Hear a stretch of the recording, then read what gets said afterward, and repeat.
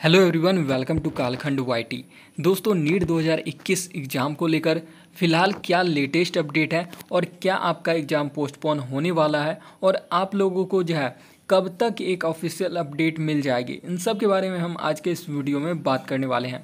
दोस्तों, अभी जो फ़िलहाल सबसे नई लेटेस्ट अपडेट है, वो मैं आपको बताना चाहूँगा। दोस्तों, कहा जा रहा है कि आज जून पच्चीस चार बजे शाम में एजुकेशन मिनिस्टर रमेश पोखरियाल निशांक जो है वो लाइव आएँगे और वो स्टूडेंट के द्वारा जो भी क्वेश्चन रेज किए गए हैं सीबीएसई बोर्ड एग्ज़ाम को लेकर, उस पर बात करेंगे। और यह भी एक्सपेक्टेड है, यानी कि यह भी कहा जा रहा है कि हो सकता है वो जेई मेंस और नीट एग्ज़ाम को लेकर भी बात करें।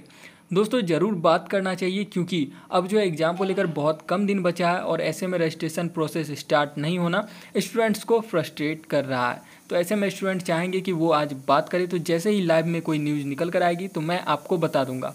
और वहीं पे बता दूँ कि अभी बहुत आर्टिकल जो है उसमें कहा जा रहा है कि एग्ज़ाम जो वो आपका पोस्टपोन हो सकता है और पोस्टपोन होकर सितंबर तक जा सकता है। हालाँकि ऑफिशियल अपडेट कोई भी नहीं है। ऑफिशियल जो अपडेट है उसके हिसाब से एनटीए अभी भी एक अगस्त को ही एग्ज़ाम करवा रही है।